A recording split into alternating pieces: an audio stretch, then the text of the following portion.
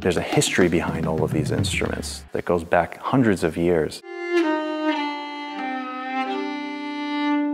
And that's something that we want to capture in the sample content.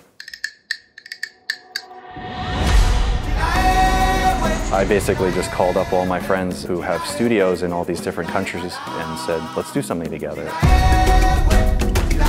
We want to travel to places around the world to capture authentic instruments.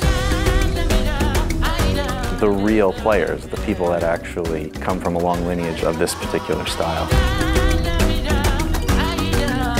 And the only way you can do that is actually be at the places where these people live. It has been such an incredible experience, and I think you're really going to love the authentic instruments that we've captured. I hope you enjoy it.